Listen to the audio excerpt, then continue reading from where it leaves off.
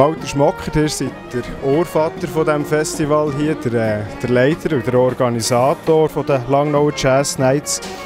Was ist der Unterschied zu diesem Festival hier im Vergleich zu anderen Jazzfestivals? Der Unterschied ist, dass bei uns wird Jazz gespielt und an den anderen Festivals die nennen sich nur Jazzfestivals, die meisten, und laufen durch kommerzielle Musik vor allem. Wie hat sich das Festival in den letzten Jahren verändert? Das gibt es ja mittlerweile schon seit 25 Jahren. Ja, wir haben angefangen auf dem im Kurszentrum Dorfberg mit 20 Studenten, vier Lehrer, äh, einfach im kleinen Rahmen. Und mittlerweile sind es äh, 25 Lehrer, 120 Studenten, 120 Helfer. Also es ist ziemlich grösser geworden.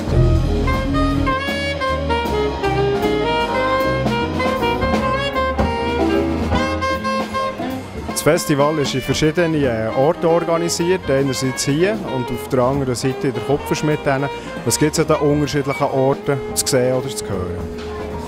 Also hier auf dem Viehmeerplatz äh, sind Studenten erstens, spielen, die durch den Tag durch an diesen Kursen, in diesen Workshops die Stücke studieren und äh, die nachher hier vortragen, öffentlich.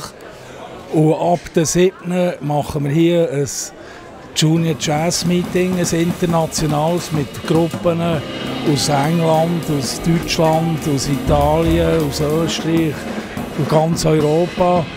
Und äh, das ist für Musiker unter 24, also das ist ein Festival, wie es meiner äh, so viel ich weiß, auf der ganzen Welt nicht gibt.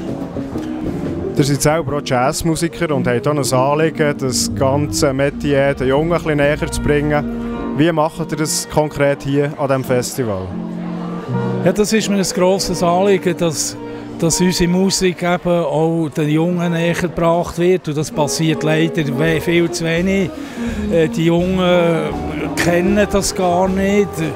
Es sind DJs, sind Könige, es ist äh, Sachen angesagt. Die Medien bringen auch meistens die kommerziellen Sachen. Darum ist ganz wichtig, dass äh, wir den Jungen zeigen, die Musik näher bringen. Und zwar mit, äh, mit international renommierten Pädagogen und Musikern, die so unterrichten. Sie können am Abend nachher in den Kopf verschmitten und äh, dort spielen Top-Bands, die sie hören können und hey, so, so äh, finden den Zugang nachher zu dieser Musik 100%.